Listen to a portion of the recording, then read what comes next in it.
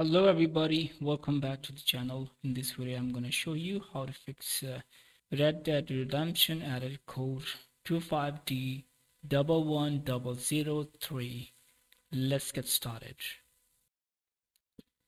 Very simple solution guys. Go to this pc open it and right click here go to properties or go to device manager and uh, go to audio inputs and you can see this is my headphones uh, 2.4G wireless. I'm using and I have microphone.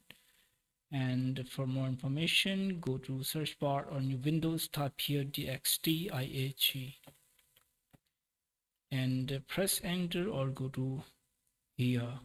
And uh, go to sound. So you can see your uh, sound device you can see this one I'm using.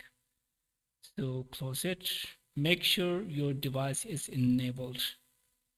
Okay so my device is enabled already. So if you have any issue then you can update drivers and browse my computer and you can use this one or this one. Click on next. If you're still facing an issue then uh, you can reinstall it. Uninstall device click on uninstall. Now go to startup and and restart your PC now.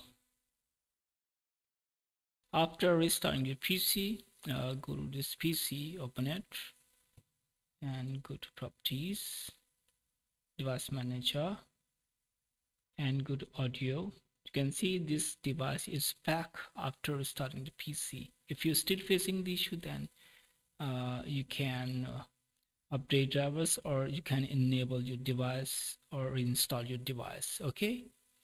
So close it. Hope you like the video and uh, thanks for watching. Please subscribe the channel. Bye bye guys.